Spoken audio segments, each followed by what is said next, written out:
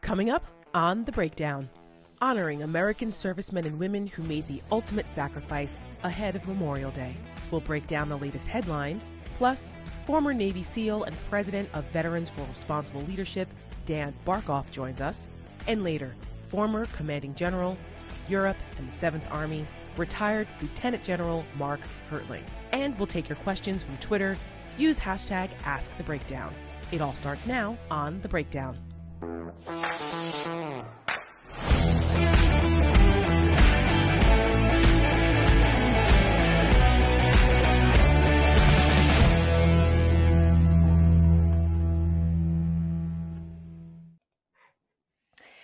evening and welcome to the breakdown. I'm Tara Setmayer and this is the Rick Wilson. Rick, good to see you. You're he's a, he's a man in demand already. Good to see you, Tara. Sorry, I, uh, I, I just committed the second cardinal sin of, of, of live television of leaving my ringer on.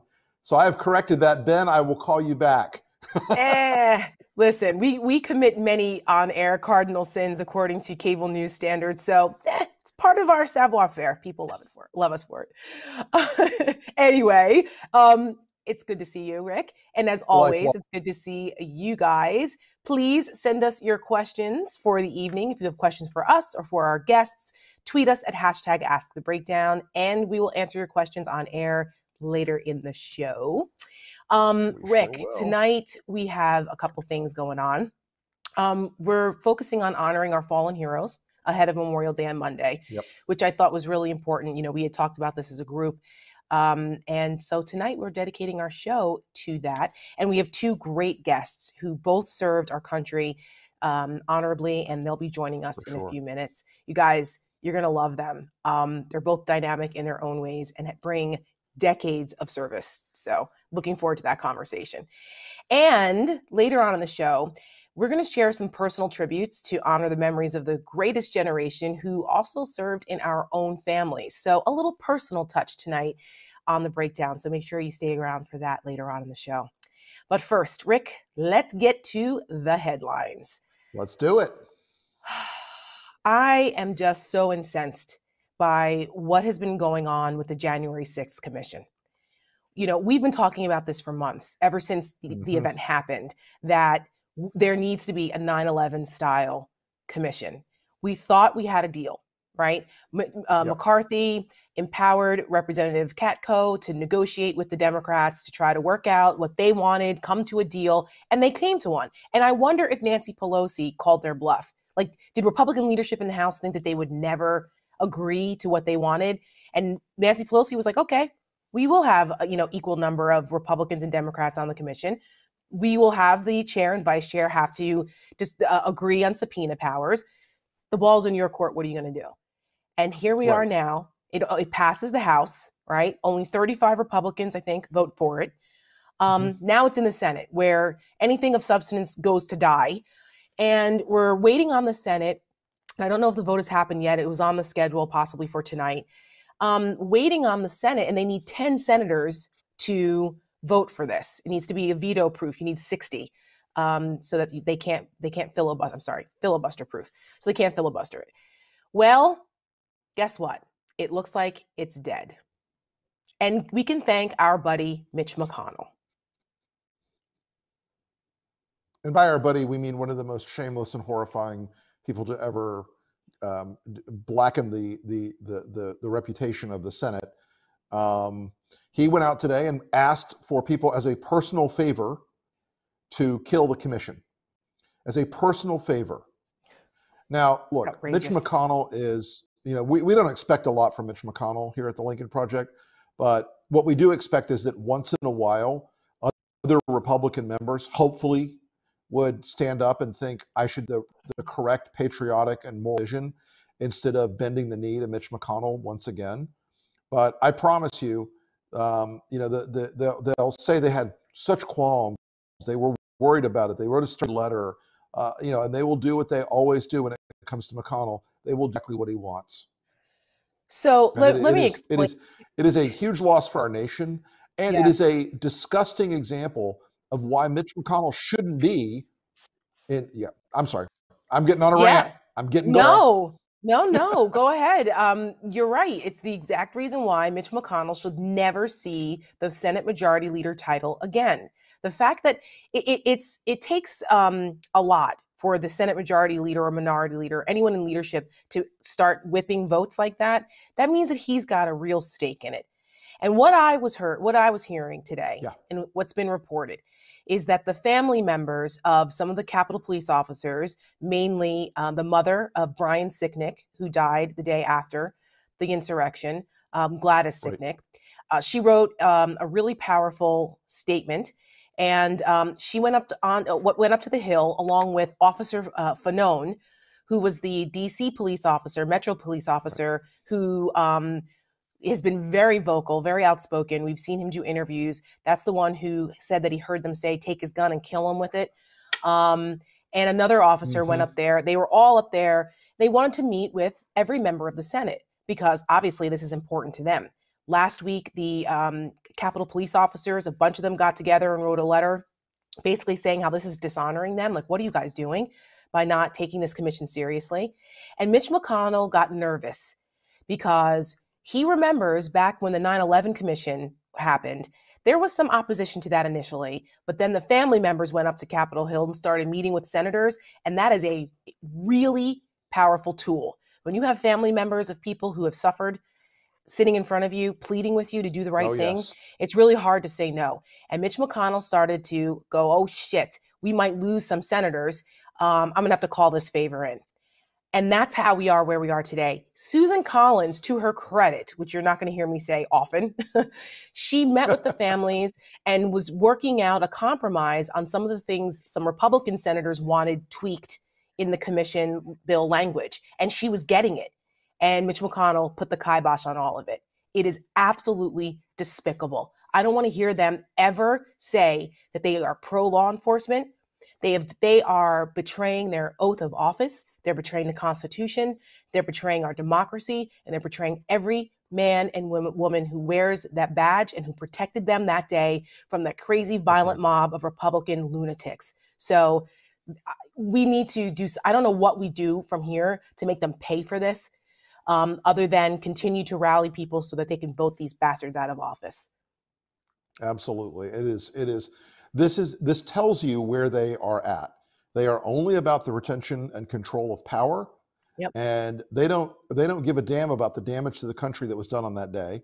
They don't want to look at it because they know they're going to find out that people like Josh Hawley and Ted Cruz and Ron Johnson and of course all the clowns in the House that yeah. were involved in this are tied back into it. And Mitch McConnell asking for this as a personal favor, that in this in the language of the Senate, in the secret handshake language of the Senate, is a very big deal. He is mm-hmm. terrified of this commission, which is why when they vote it down tomorrow, the Democrats should just announce the commission anyway, hold those seats open for the Republicans if they want to sit on the committee, and move forward with it. They must not let Mitch McConnell roll them on this matter. We beg of you, Democratic leadership, you guys are in the majority. The Use hell up. the powers you have. Republicans well, were very good at that.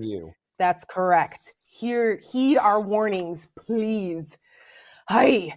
Well, and this is what happens. It leads us to our next story tonight, which is basically the fraudits that are happening all over the country. I love that word. Um, I saw great. it somewhere. I can't take credit for it. I, I read it somewhere and I was like, I'm so using that.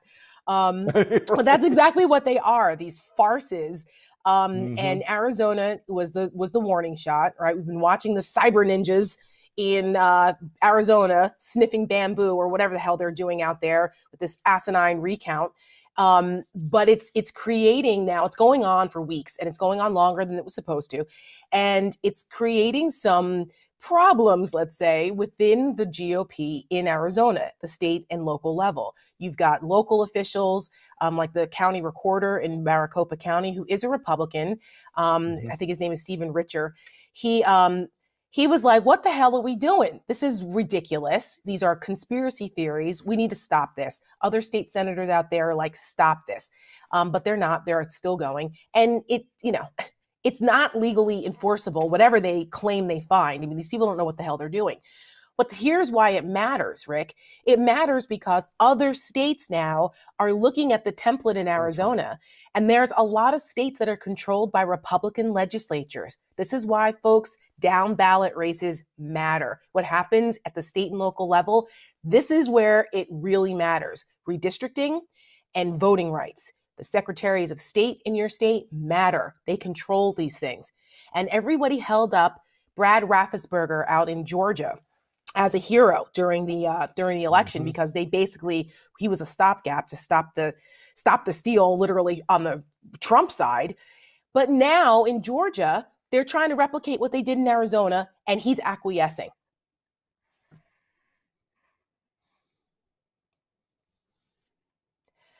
So what happened is in the Washington Post, um, Greg Sargent wrote a piece basically right. explaining that Raffensperger, he was like, you know, well, we'll let we'll do another examination of the ballots in the in the issue of transparency. This way they'll see, just like the other two audits that they already did that were official, that right. showed that, you know, Trump lost. But we'll we'll do this again because then we'll show again for the third time that it's transparent and that Trump lost. Not in so many words, but two that's audits, what he's trying to claim. Two audits and like five recounts. I mean, how many times does Donald Trump have to get his ass kicked in Georgia for pe- people to believe it? right. it, it is right. astounding to me that, that and, and look, once again, what are you seeing? Raffensperger fears a Republican primary. He wants to keep his job. So he's going to get a Republican primary. By the way, no matter what you do, you've already crossed Donald Trump. You're going to get a yeah. Republican primary no matter what. That's right. You're going to get some cuckoo pants out there who believes that there's a, you know, secret cannibal pizza restaurant where they recounted the votes because George Soros told them to. You're going to get some lunatic, and you're going to try to run against the lunatic as a conservative Republican, and they're going to beat you because that's the flavor the GOP wants now is cuckoo. They that want the. Is correct. And you know what? Um, it's not only happening in Georgia. Remember, Georgia produced Marjorie Taylor Greene, um, but it's happening also now in Nevada. There was a story in Politico today yes. that Nevada is having like an internal Republican revolt because state and local officials out there in the Republican Party are arguing over how Trumpy they want to be. There's actually apparently some sane Republicans on the local level that are like, yeah, we don't want to go that way. But the state party chair is real Trumpy, so much so that he's in bed with Proud Boys. And they he was patting the committee members eh, with Proud Boys guys and so that he could so that they could get their people elected it, it, this is crazy this is happening all over the country with the republican party so this idea of the civil war yeah mm-hmm. there's a mm-hmm. civil war but there's also like you, it looks like the crazies are going to win here and you know you wrote a, you wrote a piece in the washington post rick let's talk about that about like you want to some people want sure. to look at trump in the rear view but he's not going anywhere and here are three examples right now in real time Right. It, it's true. And, and Tara, look, if you look at, if you go back in Nevada, and one of my close friends has an has an analogy of Nevada. He said, you know, patient zero of the craziness in Nevada was Sharron Angle back in 2010, oh, yes. who was after the Second Amendment remedies and all the crazy, crazy, right? That state has always had a dichotomy between some su- smart suburban Republicans and and the edge cases, the people that live out in the desert and stare at the sun too long. Well, these people are taking over. The lunatics are in charge of the asylum eh, again.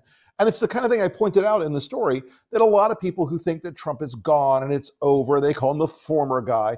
What they're doing is expressing their anybody who uses the former guy as a as a real term with Trump, not ironically, is expressing their complete personal and political impotence at every level.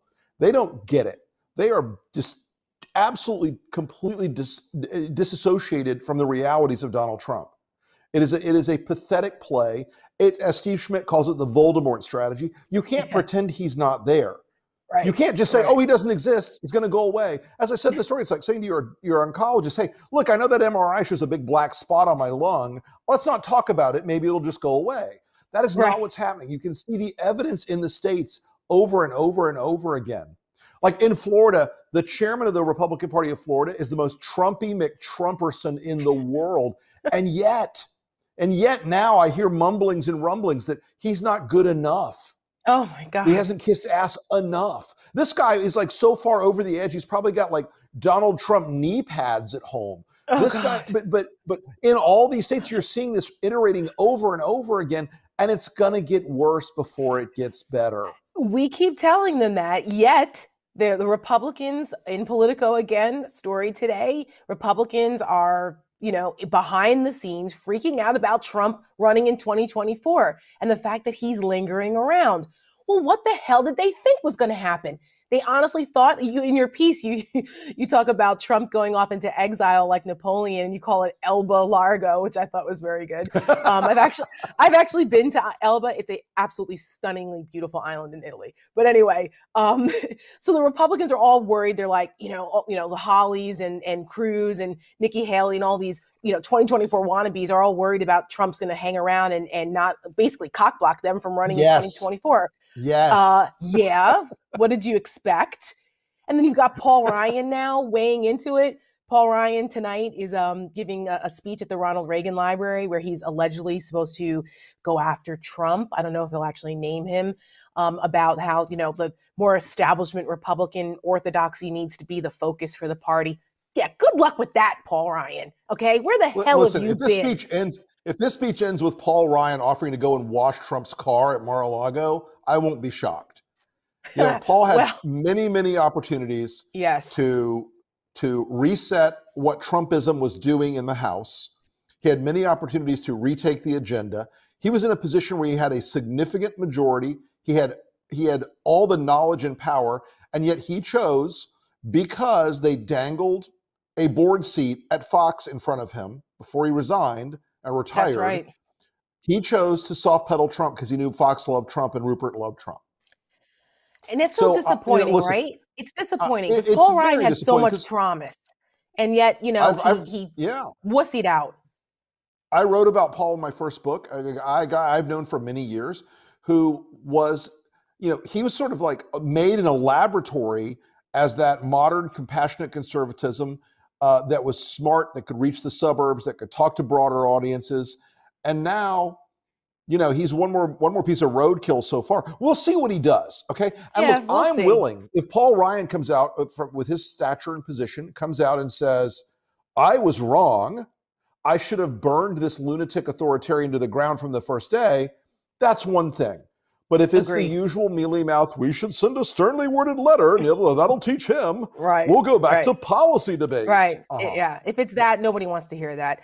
Um, before we go to break, I want to remind folks because Lincoln Project put out a little video um, because Donald Trump emerged uh, for a Newsmax interview the other night, and um, this is who they want to be the titular uh, titular head of the Republican Party. Take a look. You look at what's going to happen. You look at gasoline. You look at what's going on with pricing. You look at what's going on there. You look at the military they're building. If you look at the world, I think this could have been another Spanish flu from 1917. When you're looking at all of the those flames on top of the wells, you look at some of these beautiful farms, you look at these incredible landscapes, and you take a look at those wind farms out there. You look at what the way they're treating Israel now. You look at the way they're being treated right now. If you look at uh, Alaska, you look at Iowa, you looked at North Carolina, you look at other states, big states and small states. If you look at every every metric, you look at so many other things. When you look at what they did, it's so illegal.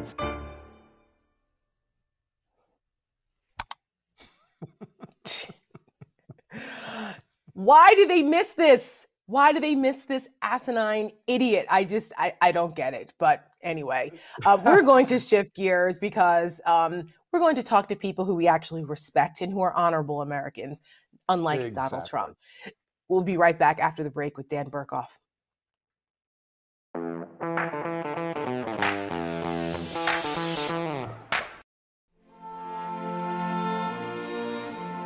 In every generation, they stand in every generation, they serve. In every generation, they sacrifice. For two and a half centuries, on land, sea, and in the air, they fought and died for an idea bigger than themselves. They are the Americans of every race and faith who swear a sacred oath of honor and live it to the last. And when that moment comes, they lay down their lives for the country they love,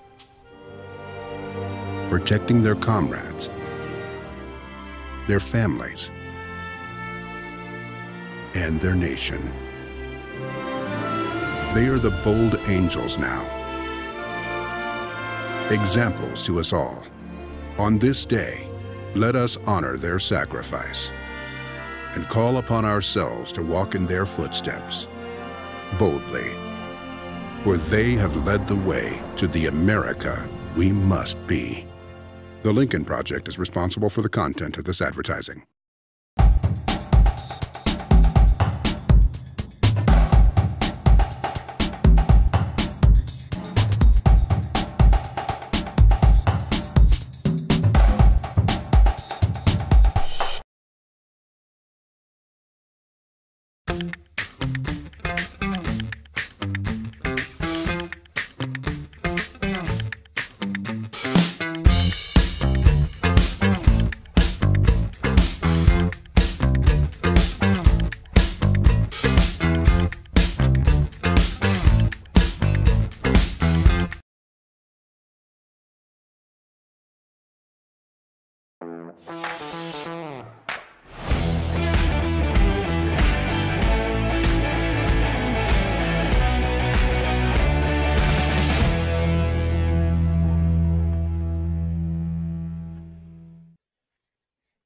And welcome back to the breakdown. Our first guest tonight is Dan Barkhuff. He's a former Navy SEAL and president of Veterans for Responsible Leadership.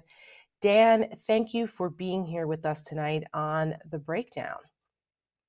Tara, thanks for having me. Uh, you know, it's it's kind of hard to follow a video of Donald Trump, but I'll try to do it by not being a slobbering idiot. I the bar set pretty low. I think I, I think you can I, manage it, it, Dan. I, I'm hoping so. Um, you know, um, Dan, but I, I, hope Dan just you know you're, you're kind of an underachiever. Uh, I've noticed. So you know, nothing like Harvard Medical School, the Navy SEALs, and and, and, the, and the Naval Academy. I think right. you, I think That's you could right. be woken up out of a sound sleep and be better than Donald Trump. Well, you know, we, we keep our fingers crossed. oh my goodness. Um, well, since you know Rick gave you your proper accolades there, and um, you know you are also a physician on top of being a Navy SEAL, um, Harvard trained. Um, but I wanted to talk to you. I wanted to talk to you a little bit about your thoughts on what's happening with this January 6th commission and Officer Sicknick, who is now buried at Arlington Cemetery. He's a veteran. Um, his mother went up there.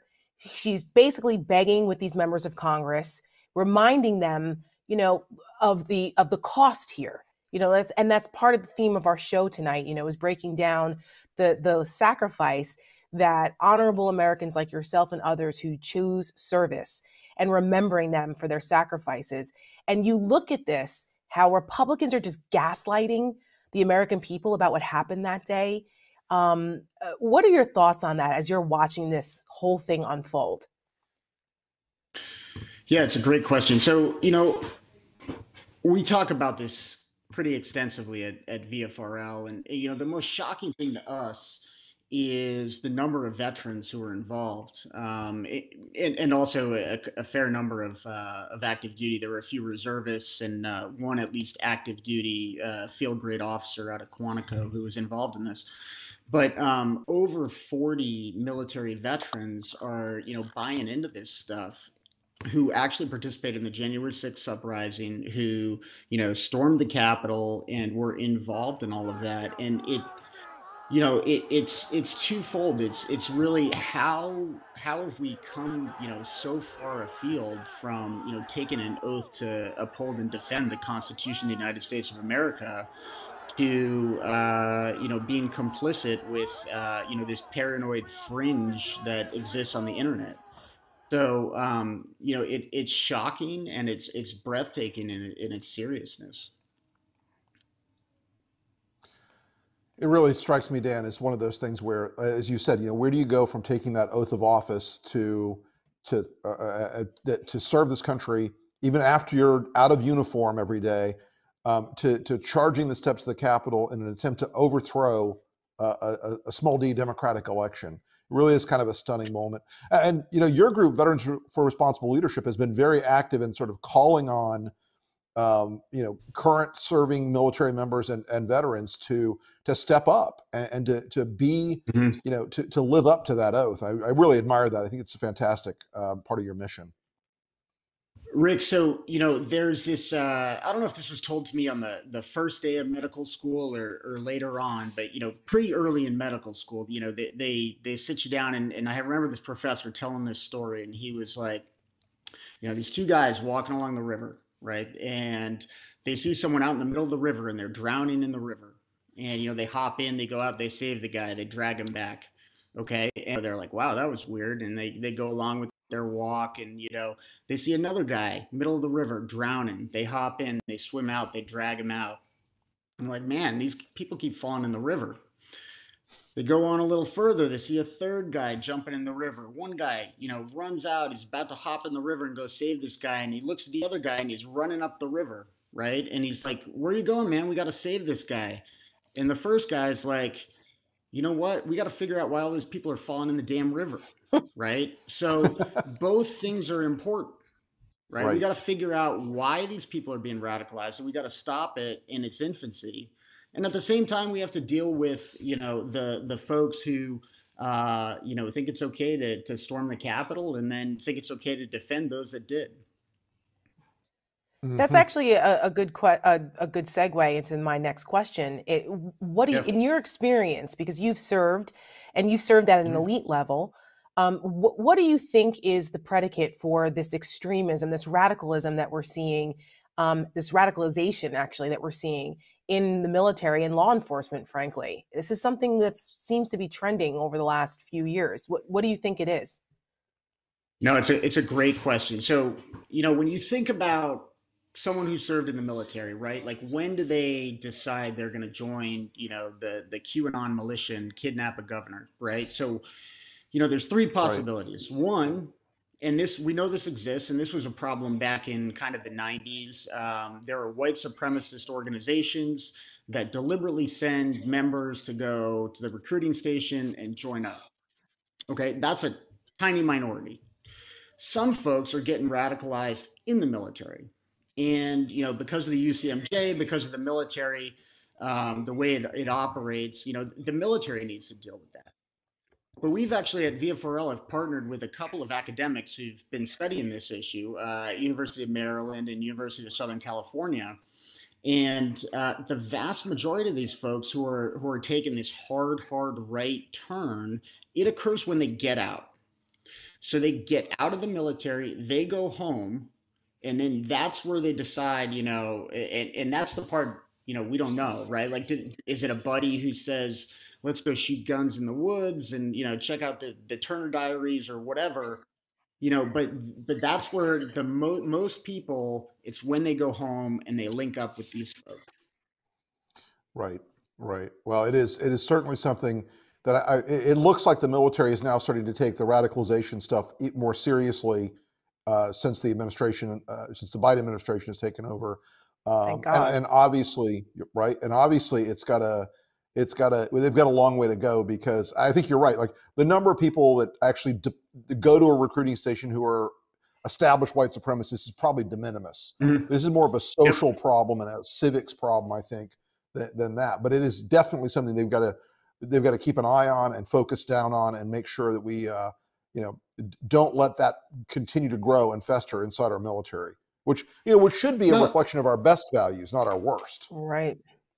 I, I couldn't agree more. You know, it's it's really, um, you know, it's it's it's scary that folks are forgetting their oath and they're going home. They're going home to to live that civilian life that you know you dream of when you're on deplo- month nine of deployment or whatever and uh, you know it's there that they're they're getting uh, you know linked up with these these folks who are who are radicalizing them at home right right which actually leads to um, your thoughts on uh, well i guess it's been lack of leadership in at, at the highest levels under the trump administration there was the, just the mm-hmm. politicization of of our military and, and what was going on over there in the in the Pentagon once um, Mattis left, uh, and especially mm-hmm. in the in the latter days. But leading up to the Capitol riots, you know, I see I noticed something this you know with all of these militia groups that it's a lot of imposter syndrome you know these wannabes mm-hmm. that can't cut it sure. like you and others who did mm-hmm. who who were able to achieve the you know the elite status in the military and they dress in the military garb and you know they wish they they think they're navy seals with their tactical formations and stuff and all they are are a bunch of of incels that are wannabes but yet they've been given an outlet here w- and latching on to Donald Trump and this weird obsession with him, this weird, I don't know how to explain it because he is the furthest from masculine, that uh, masculine guy ever. I don't, I don't understand the obsession with him. But when you look at mm-hmm. the Capitol riots, you've tweeted about this. Um, you know, what are your thoughts about some like the, the imposter syndrome and then like people like Ted Cruz, who's trying to talk about recently right? He put out this video with with Russian propaganda in it, claiming that the the Democrats are trying to, you know, make wussies out of our military, and yet look at the people in the Capitol riots and what they're doing. I think we have um, that that video, Ted Cruz. We call him Ted Khrushchev. Let's take a look and get your reaction. новой жизни. Что ты знаешь о себе? На что ты способен? Вопросы могут остаться без ответов, но разве ты сумел узнать себя? Познать границы своих возможностей? К черту границы! А без боя нет победы. Но на самом деле... Главный враг — это задача выследить врага, догнать его, превзойти, стать лучше, чем он. It begins in California, with a little girl raised by two moms. I also marched for equality. I like to think I've been defending freedom from an early age. To marry my other mom. With such powerful role models, I finished high school at the top of my class, and after meeting with an Army recruiter, I found it. A way to prove my inner strength. I'm U.S. Army Corporal Emma Malonelord, and I answered my calling. Ted Cruz actually tweeted out, Holy crap, perhaps a woke, emasculated uh, army isn't the best idea. And he actually retweeted Russian propaganda. That's what that was in the first half of that. What's, what's your response to Ted Khrushchev? Yeah, so um, so you know the, the, the most charitable interpretation I can give to to Ted's comments are that he's he's completely ignorant. Okay, uh, I'm sure General Hertling would bat me up on this, but war is a team sport. Um, you know, the the the fact that um, a couple of Russian guys uh, static lining out of an airplane and shooting bolt action rifles does not intimidate me. This has been a uh, a constant theme throughout uh, American history. Right, we weren't going to be able to stand up to the British redcoats we weren't going to be able to stand up to uh, you know the the Confederates. Uh, you know they were better soldiers than than the, us Yankees. Uh, you know we weren't going to be able to stand up to the German Supermen. Um, you know we weren't going to be able to stand up in the Fulda Gap to the to the Russians. I mean this you know Al Qaeda thinks we're soft, right? Like this has been a constant thing that people have said about a democratic nation. Um, but you know there's just there's a lot of dead people who took that opinion and uh, and met up with the U.S. Armed Forces overseas and, and learned the hard way that that is not correct. So um, so there's that, and you know the charitable interpretation is Ted doesn't know what he's talking about. He's never served a day in his life. Now brings me to the second point. Okay, so you know there's um, a, a, young woman, uh, an army enlisted woman who uh, does a recruiting video. I'm sure it was not her idea. Um, you know, I'm sure she was approached. And uh, you know, do you think our, our, our military is better served by uh, all sorts of folks who volunteer to be there? Right. So 1973, we get rid of the draft. There is no more conscription. We now have people who volunteer and want to be there and want to serve and want to be a soldier. That is better. That's better. There are problems with an all volunteer force. And you know, there are people who get PhDs about you know all the problems with the volunteer force. But truth be told, we are better off with men and women in uniform who want to be there. That's right. I think that's fair to say. And Ted you know, Cruz. I, I, one of the things I observed was, you know, yeah, ahead, that that that you know, Ted Cruz. Speaking of emasculated, you know, Donald right. Trump walks around with Ted Cruz's pecker in his pocket every day I mean, the guy, the, the, Donald Trump told Ted Cruz his dad killed JFK and his wife was ugly. There's no, Ted Cruz has zero room to talk about emasculation anywhere Absolutely. at any time. That's right. So, can't even defend his own wife. Yep. Never mind, never mind standing post with a rifle. I don't think so. Yeah. Go ahead, Rick. So, before we wrap it up. No, no, no. Yeah, let's. I, I just wanted to thank Dan for being with us tonight. It's uh, it's always terrific to see you and uh, and Veterans for Responsible Leadership does amazing work, and uh, and and I this is a great time of year in the great state of Vermont. It's about to be beautiful there. So it's finally, you know, uh, Vermont is terrific from June first to Christmas. And, yeah, and it's still exactly. But, you know, well, well, Dan, we again, appreciate Dan. you. We appreciate you being with us. Thank you All so right. much. Take care. Good night. If you if you'd like to know more about Veterans for Responsible Leadership, visit vfrl.com.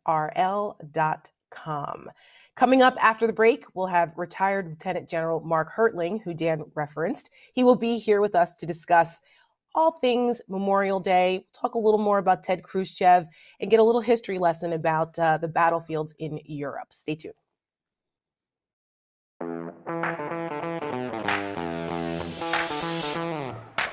I pledge allegiance to the flag of the United States of America. I pledge allegiance to the flag of I the United States of America. I pledge allegiance to the flag of the United States of America. And to, to the, the republic, republic for which it stands, one nation, under God, indivisible, with liberty and justice for Trump.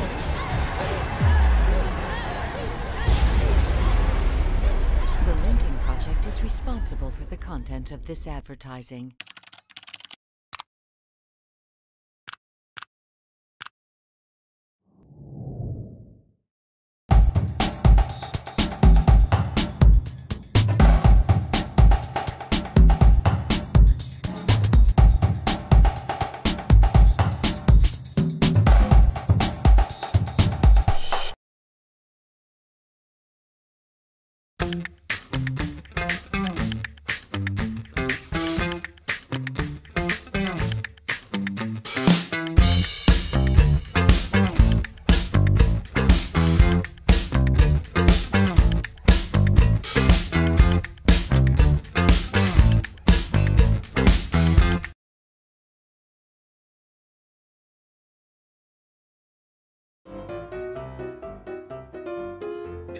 You are fighting the American nation state, if you are fighting the values and virtues that make this country great, the conservative movement should be about nothing if not reducing your power and, if necessary, destroying you. I'm certain that none of your members were in any communication with any of the people who uh, stormed Capitol Hill? Well, thank you for the question. Everybody have a nice day. We can look back in a time in history where people were told to wear a gold star and they were definitely treated like second class citizens, so much so that they were put in trains and taken to gas chambers in Nazi Germany. And this is exactly the type of abuse that Nancy Pelosi is talking about. Have a nice day. When they do their satanic rituals, they have to wear a mask and they have to stand six feet apart. Sound familiar? Everybody have a nice day.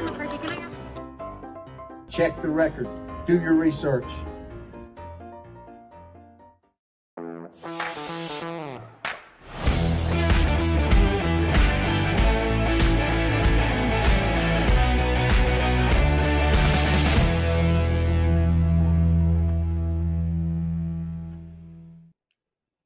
and welcome back to the breakdown. Coming up in just a minute, we'll get to more of your questions, but first, we want our next guest. He's amazing. He served 37 Absolutely. years in the Army, retired as commanding general. He commanded the U.S. Army in Europe and the 7th Army. And I am so pleased to welcome my friend, Mark Hertling.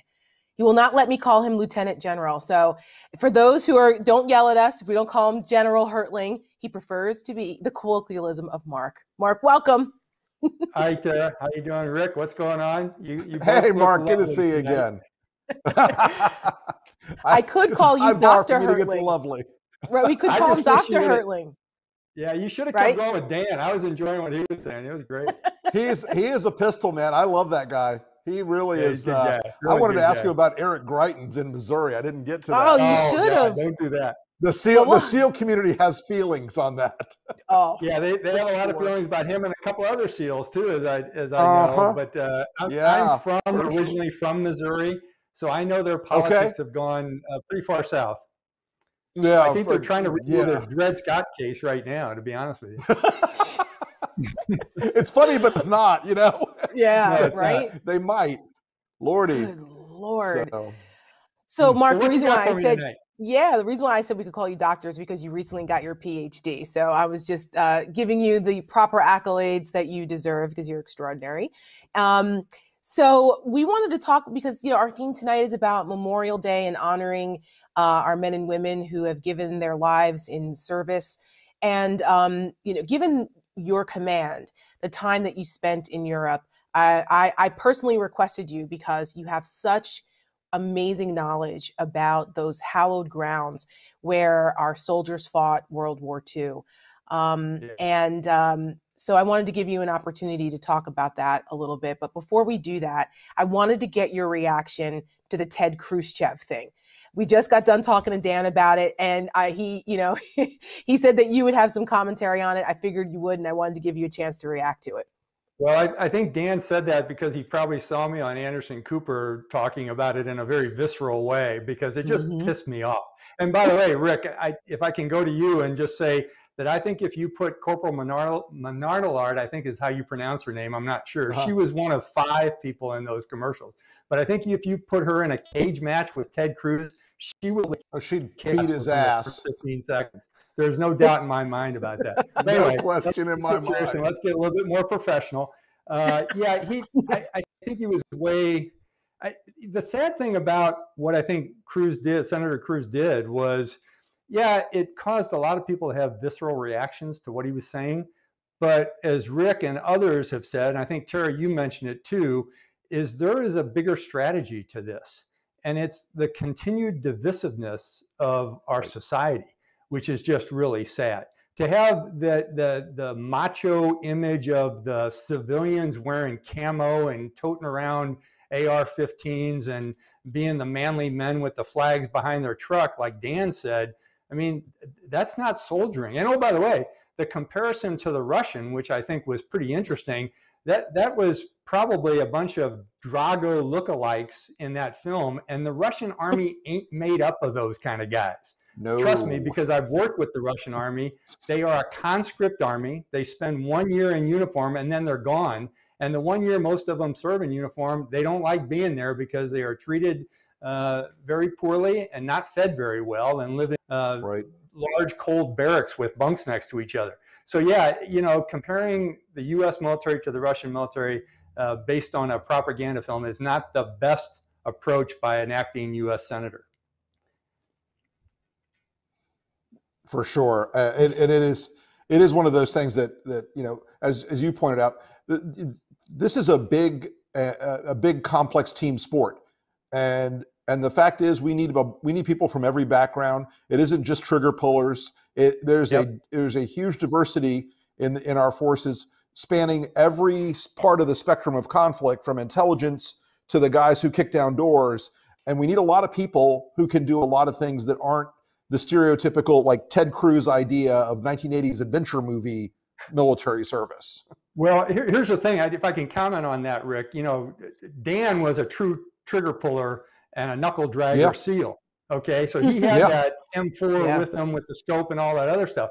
This corporal that Cruz was making fun of was a trigger puller too, except her she's pulling the trigger on a Patriot missile. So yeah, that's Right. that's a little bit bigger weapon system than an M4. And those those air defenders that that man those uh, uh, pieces of equipment are in places like Kuwait, uh, Mhm. Europe, Korea to guard against incoming missiles. They used to be in Israel too, uh, reinforcing uh, the Iron Dome. The- so yeah, it's it's just it's just staggeringly stupid what some of these people in the Senate are saying. It is. It really is quite something.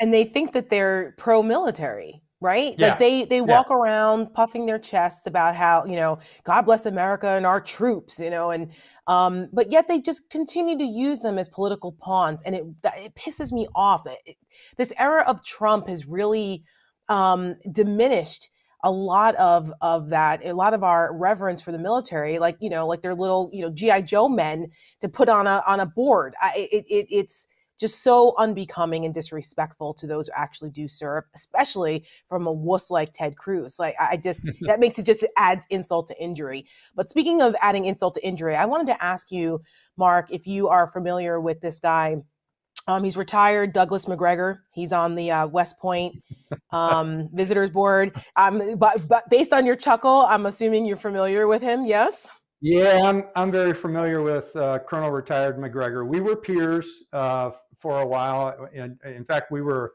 He was with the Second Cavalry Regiment when I was with uh, the First Cav in First Armored Division during Desert Storm. So I watched uh, Colonel Macgregor do his thing, and he is he's a unique individual. Let's just put it that way. Not very Yeah. well accepted by his peers. Yes, and the reason why I does brought not work up. and play well with others. Well, I can see why, based on some of the comments and things that he's made um, since retirement. I don't know what he did when he was active, but since he's been out, he's been really outspoken about some pretty um, white supremacist type things about immigrants and um, you know white replacement theory, and he's been unapologetic about that. And CNN's K File, um, by the way, the guy who runs K File, Andrew Kaczynski, was an intern in the office that I worked in in Congress, so it's really great to see him uncover all these great videos and things. Um, but anyway, um, the, the K file uncovered this uh, this interview of him talking about white replacement theory, and and you know that's Yeah. you know that's the goal of Democrats is to bring in all these brown people and all these other others that are not European to replace us, and it's pretty horrific. Um, but he's on the the West Point, the Military Academy Visitors Board. It's a presidential appointment, shocker, appointed by Trump. What do we do with this guy? What happens here? Well, he, he is on the board as well as a couple of others that, that pre- former President Trump appointed that are a little bit out there. You know, when you talk about the visitors board at West Point, they are there to really design and help the superintendent of the academy uh, have the best possible character development and leadership development as well as academic and sports program as they possibly can. Uh, so when you have characters instead of those forming character development, you're going to have problems. What can you do about it? I don't know, truthfully. Uh, it, it is a, I think it's a four-year appointment, uh, but but I think it can be overcome by the Biden administration. And and President Biden is slowly countering some of those things. I just read today where where he uh, uh, severed the relationship of a of a former uh, Navy SEAL who Dan also doesn't like, but I won't mention his name, uh, running oil in northern Syria to the to the Kurdish region uh, under a very tenuous project that he worked through the State Department. Just crazy stuff, but all of that is neither here nor there. I'm going to answer your question because I want to get to it. It's important about the the cemeteries in Europe and the difference between us and others. Uh, when I was commanding in Europe, a couple of times over there, I had just returned. Well, all the times I was in Europe, I had just returned from Iraq. Uh, so I had three tours in Iraq, and each time my family was stationed in Europe. I got to know the cemeteries. Uh, you know, most of the military cemeteries in the United States are run by the, the Veterans Administration, but all the overseas ones are run by something called the uh, American Battle Monuments Commission. There's 28 of them and 19 of them are in in Europe, and I've visited all of them, and they are unbelievable. If, if you're talking about a Memorial Day at Arlington, eh, there's a lot of pomp and circumstances. I would suggest you sometimes take a trip to Europe and go to either Margraten in the Netherlands or Normandy in France or any Anzio in Italy and see what the people who have from those countries have done to adopt the graves of American soldiers uh, and and make them their own and use them as teaching points about liberty and freedom and social contract. You know, the, the other thing I'd say too, Tara, uh, if I can continue a little bit. Sure. You know, Rick was talking before about to Dan about um, you know the, the the the character of soldiers. and one of the things I used to do as a commanding general is I would go around talk talk to soldiers from other countries because we had 49 different countries in Europe that I was partnering with, and I would ask the other countries, "What do you take a vow to? What do you vow to defend?" And I'd get really great answers like the motherland or the fatherland or El Presidente or the king or the queen or whatever. And it's all very different than what US soldiers vow to defend. They defend a piece of paper, which represents ideas. And those ideas are found in values and a social contract and liberties and freedoms that we have. And we, we've got young men and women who fight to defend ideas as opposed to a piece of ground or a person. And that should never change. Right. Uh, I, I did this last time with Memorial Day. I keep a box on my desk uh, with the cards of 253 soldiers that were under my command in combat that gave their life, made the ultimate sacrifice. I look at the, that box every day. I know the story of all of those individuals, 253 of them. And you say, wow you know, these are folks that went to foreign countries and those cemeteries in Europe. It's the only plot of ground we occupy in Europe from the World War One and World War II era. Those are the only things we ask of is some place to bury our dead. Uh, so this Memorial Day is, is I think that's what you wanted me to talk a little bit about, is really important sure. to me, having served with these great men and women who gave their ultimate sacrifice. And by the way, there's a couple of Allied soldiers from Latvia and Ukraine in this box too that fought alongside of us. All of that's mm-hmm. important. Mm-hmm. For sure. And and you know, it is it is one of those things where I think we have to divide between the symbolic sort of rah-rah of we love our troops to the to to the the respect they are owed and that and that our obligation as citizens demands of us when we see those kind of sacrifices um, and, and and I don't think as a society we understand them well enough and feel them deeply enough because so few people actually serve that I think there's often a, a big distance emotionally with with the lives of these people. And I think that's I think it's one of the things I really I'm very grateful for your explication of that. And I saw that box and I I I I, I was very moving because it's you yeah. you know you clearly those people have a story and you're and you're you've taken the responsibility of carrying those things forward. And I, I truly admire that. Yeah. It's uh, important. Uh, well, it is important, yeah. which is, um, you know, to Rick's just point like as well. Officer Sicknick, just like Officer Sicknick is important right now. Yes. And you were talking about that early on. Uh, yeah. Uh, and that's something that we should stand up for and, and not let people get away with brushing this under the rug.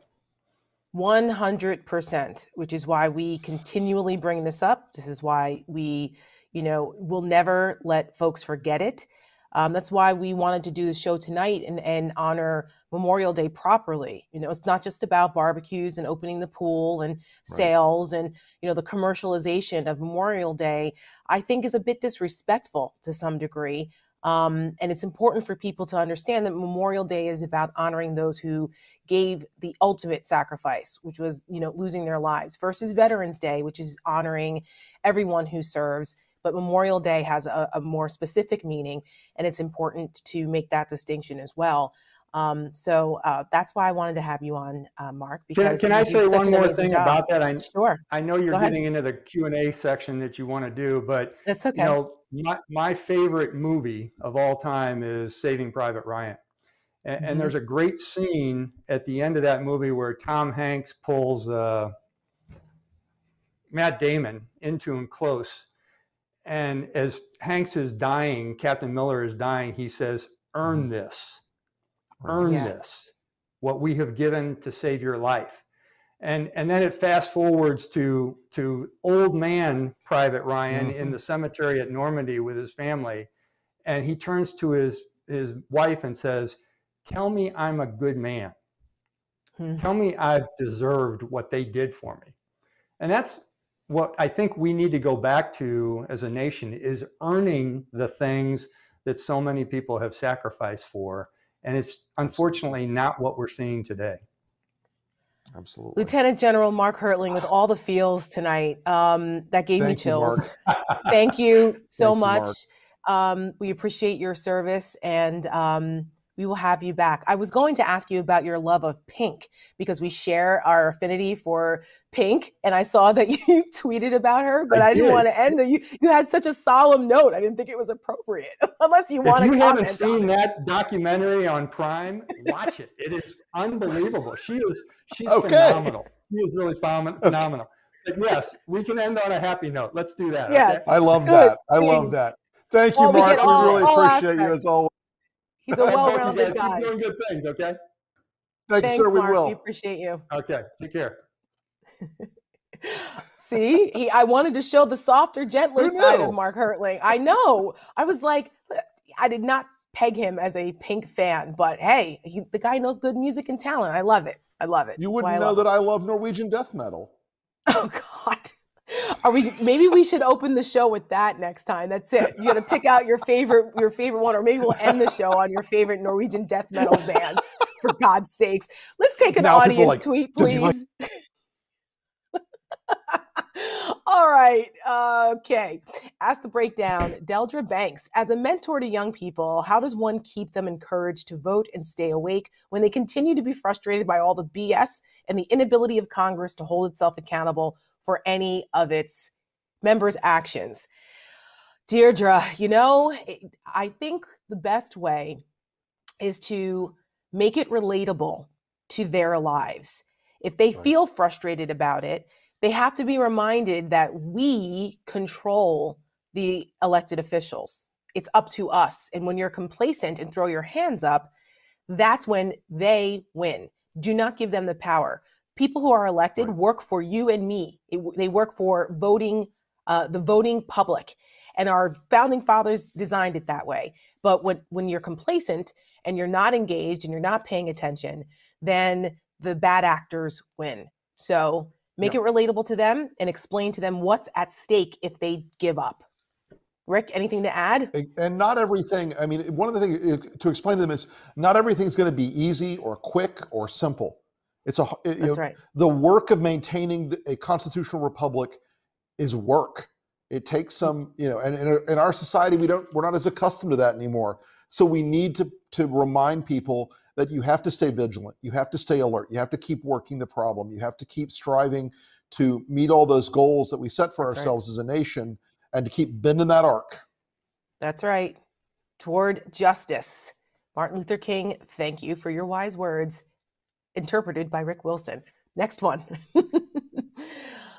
Dan Collins, uh, should the Democrats appoint a special investigator if they cannot create a 1 6 commission? So, Rick, yes, you know, also, there's a yes. lot of options here, right? Sure. The things that they can do. Look, that, and and look, the the idea that the Democrats lose once Mitch McConnell kills this through cloture is is is mistaken. They can still move forward with an investigation. They can still go forward and do a lot of things that reveal who's behind this, what drove this, who organized it, what the actions of these people were on the Hill that day, who was throwing the bricks, who was causing the problem. And to go back, as an investigator can also go back and go through the criminal conspiracy of the Stop the Steal movement with people like Roger Stone and Ali Alexander and Amy Kremer and all these other scumbags. All these are the low rent, anti American scumbag terrorist sympathizers. And they can go through and they can drag those people up.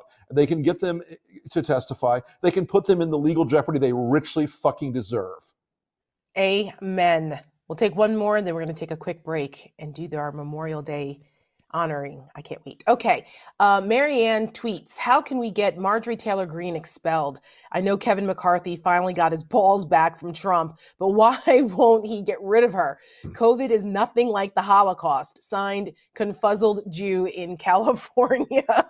well, Marianne, you know, I-, I would argue that um, Kevin McCarthy does not have his balls back. Um, they are no. firmly ensconced in Donald Trump's hands, and he'll never get them back because he's given them away. They are separated right. from his body. Um, and uh, that's why he won't reprimand her. That's why he won't expel her or move to actually do anything to punish her in her despicable behavior because he's afraid of daddy. That's right. He's, uh, I couldn't have said it better, Tara. It's, just, it's exactly right. The, the, the predicate of your question, I appreciate your question, but the predicate of it is wrong. Kevin's balls are far, far away. They're in Donald Trump's lockbox in Mar-a-Lago. yes, He's probably got like a room of those for Republicans at this point.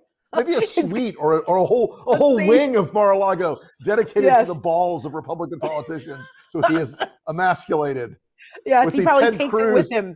Right. Right. There's probably a special Ted Cruz viewing room. Oh, oh God. I don't want to view any Republican balls. Oh, they're probably too small to find anyway, right next to Trump's. All right. I'm just going to stop next- right now. Nothing Yeah, good will come of anything I No, say from here on. No. I think we've officially, uh, you know, d- done that conversation way too much justice.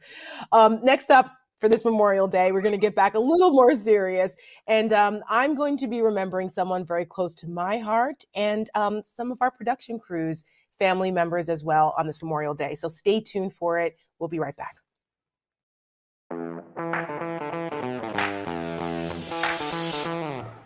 Executive Mansion, Washington, November 21, 1864.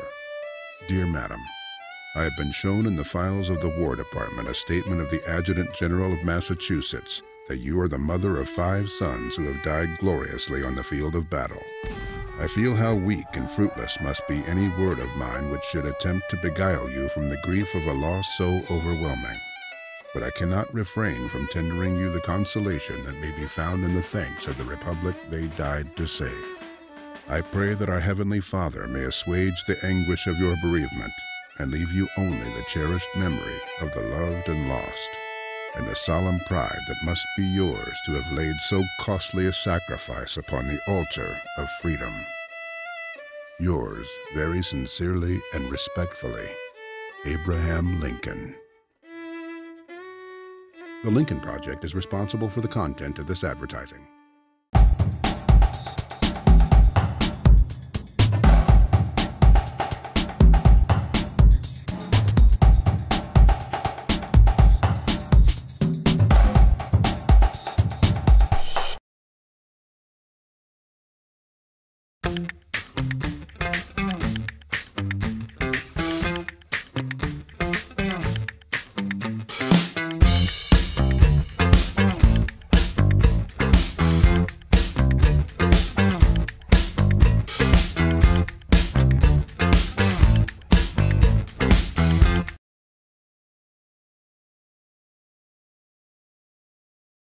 America is the only country founded on an idea the radical idea that citizens could govern themselves. It was called the American Experiment because there was no reason to believe it would work. A republic, if you can keep it. Every generation has been called to defend and renew the promise of America. For some, it was on the battlefield. For others, it was on the Edmund Pettus Bridge. Now, the battle has come to the steps of the Capitol itself. Democracy is under assault like no time since 1860. We have a choice look away or stand up and fight. It's not about conservative or liberal, it's about freedom versus autocracy. We didn't choose this moment, but history has chosen us. Which side are you on? The Lincoln Project is responsible for the content of this advertising.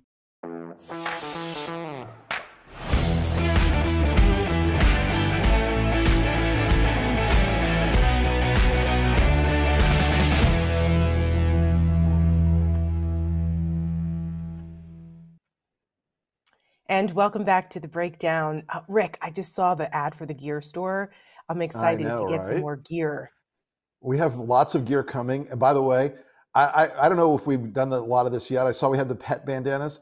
I have so many animals. We need an expansive line of pet LP pet gear. I mean, like dog dog vests and the whole the whole shenanigan. I, I'm I'm going to get on this one. I- Yes. I, I'm not going to push my idea for an LP horse blanket because that's not that's a fairly narrow market. But we're going to have some more LP pet gear, and then we're going to have people sending pictures of their pets with their Yes. LP pet gear. It's Indeed, it's been decided. believe me. Yes, and Tiki will proudly wear an LP shirt. He does wear clothes. Yes. He wears his Giants jersey when we travel. So yes, we're going to I make it happen that. for the summer.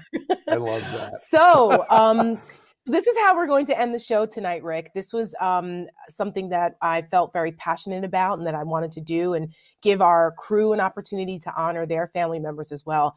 But um, so as Memorial Day approaches, the crew here at the Breakdown, they've taken some breaks from their usual work producing our show to remember those who served in our own families, uh, a few of whom we've recently lost. Right. And while Memorial Day is all about remembering those who died in the line of duty, as I was explaining earlier, the difference between Memorial Day and Veterans Day. But uh, we think it's incredibly important now more than ever to honor those who've put their lives on the line for our Constitution, our democracy, and us.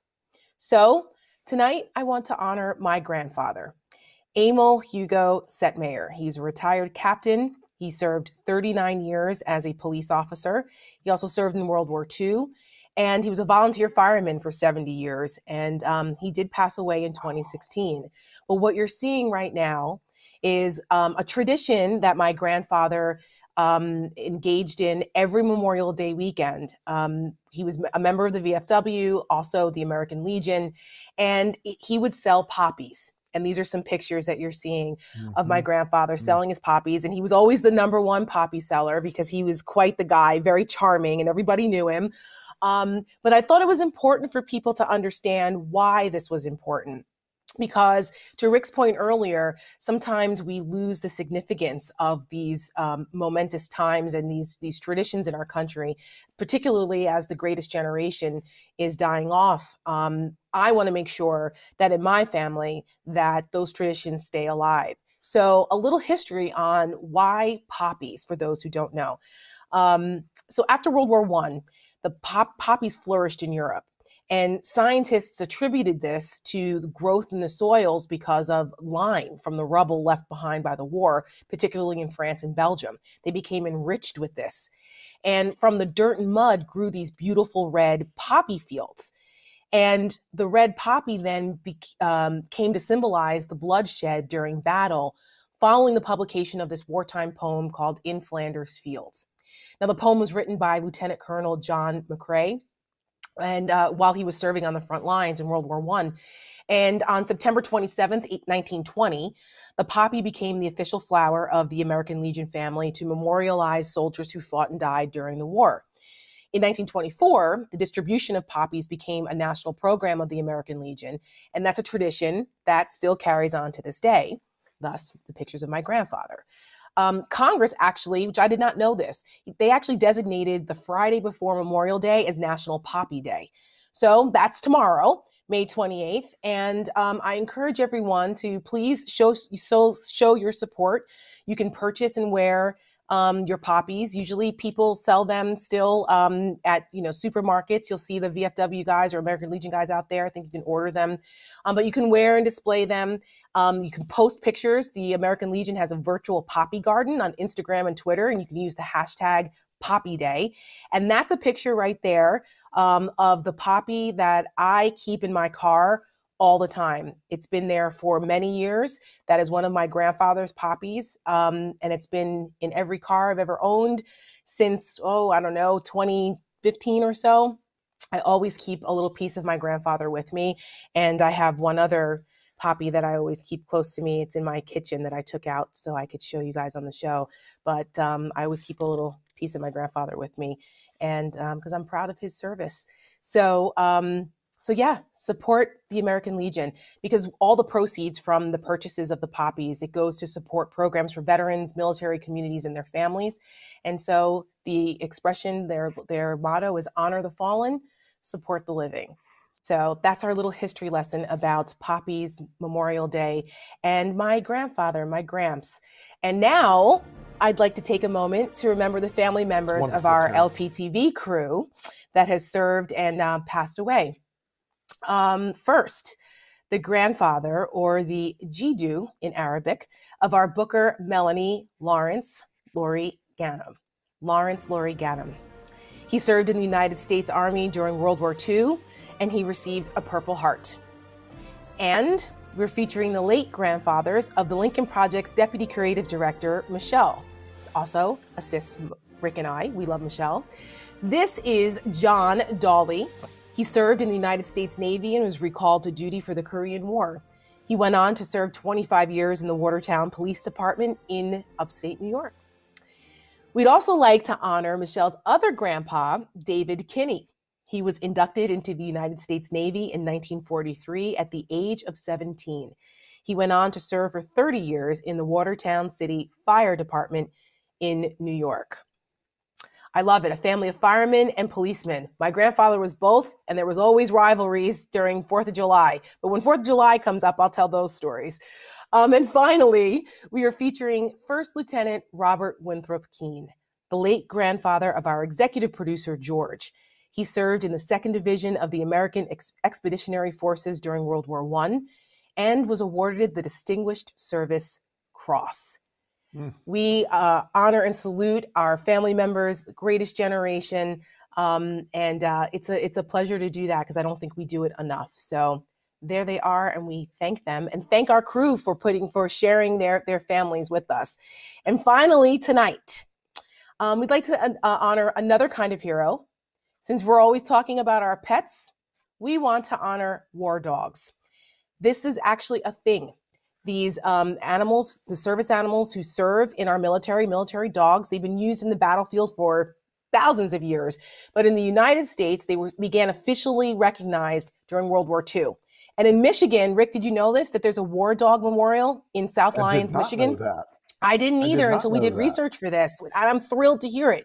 There's the War Dog Memorial in South Lyons, Michigan, and they provide burial with full honors at no cost to, to the service dog's handler. I think that's amazing. So if you guys uh, like that too, you're always welcome to donate. You can visit mwdm.org. So we honor even our four legged heroes on the show. Well, Rick, it's been a great show. It has, Tara. I will yes. see you again on, well, I'll see you like every day, but I'll I'll yes, see you again on Tuesday. You'll see me later. Um, but I'll for, see you later. Our folks out there, our Lincoln Project supporters, make sure you subscribe and listen to the Lincoln Project podcast on Apple Podcasts, Spotify, and Google Play. Rick and I are on the latest episode.